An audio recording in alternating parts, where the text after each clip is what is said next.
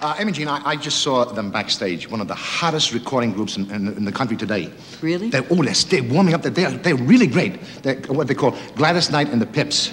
They're really exciting. Gladys Knight and the Pips? Isn't that an unusual name? Yeah, Gladys Knight. I never heard that. but when you hear them, they're really exciting. When, Really? when you, they're they're just exciting.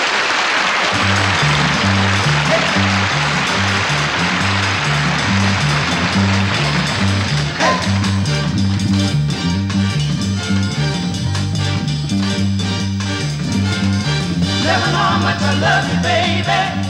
You'll never know how much I care. But when you put your arms